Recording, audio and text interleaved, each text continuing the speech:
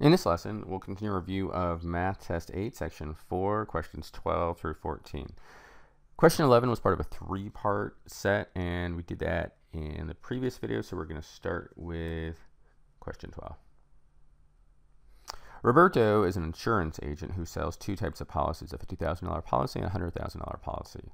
Last month, his goal was to sell at least 57 insurance policies. While he did not meet his goal, the total value of the policies he sold was over $3 million.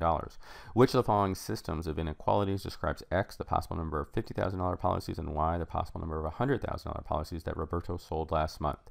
So we had a question just like this, but it was an equality. This is an inequality. So let's do the single variable inequality first. His goal was to sell at least 50,000 insurance policies. Normally, at least means that number or greater than, right? So it'd be greater than or equal to. But you want to be careful. You have to read these carefully. This is a little tricky. He did not meet his goal. And so even though he was trying to sell greater than or equal, at least, he didn't meet it. And so it's going to be less than, right? He didn't meet the goal. So the number of policies, we've got X and Y. X plus Y is less than 57. That's our first inequality. So A works. B does not because he did not meet his goal. C works, and D does not. So we're already down to the last two. Now we need an inequality for the revenue. So we know X is the 50,000, so it's going to be 50,000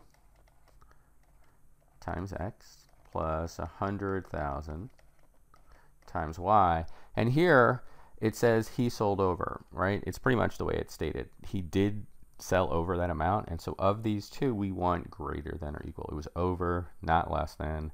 And so the answer is C. All right, let's take a look at question number 13. If a to the negative 1 half is, equals x, where a is greater than 0, what is a in terms of x? We've seen this phrase a lot. a in terms of means we need to solve for a. And here we have a to the negative 1 half. We know a to the 1 half is the square root of a. But to the negative 1 half, it's 1 over the square root of a. So you need to know your concepts well.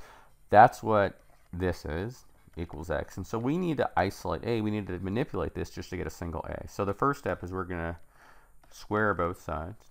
Okay, so when we square 1, it's 1. When we square the square root of a, it's a equals x squared. And the last step is we're going to flip it because we want a over 1. So a over 1 is just a. We flip both sides.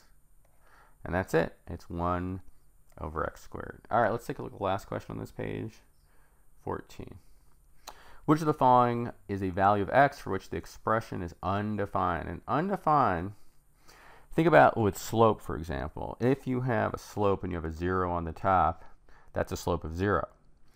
But that would just be a horizontal line. But if you have a denominator where it's 0, that's a vertical line, that's undefined. And so just remember, anytime you see question undefined, that means the denominator is 0. So that's really just the the way to solve this problem. So we're just going to focus on this equation and we're going to find the solutions where it equals 0 and that will tell us where it's undefined. So this is just a factoring question. What are the factors of negative 10 to get positive 5? Well, it's 5 and 2. And we want positive 3, so it's going to be x plus 5 and x minus 2. So the two solutions are negative 5 and 2. We don't have negative 5, but we do have 2. The answer is D.